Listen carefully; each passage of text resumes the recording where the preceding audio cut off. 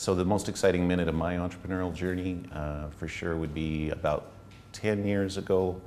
Um, we had bid a, a, a large Canada-wide contract, and I remember the president of the company was meeting me in a lounge on the West End. Uh, he came in, um, sat down, didn't really say anything. I had suspected that maybe we were going to win the contract, but he was very coy and didn't really say much. He ordered a beer, raised his beer to me, and he says, "Congratulations, you've won our business." And I just remember the shivers down my spine and going, wow, we've caught the elephant. Now we have to figure out a way to feed it. and just being really exciting. So that was for sure the start of, of good things to come from there.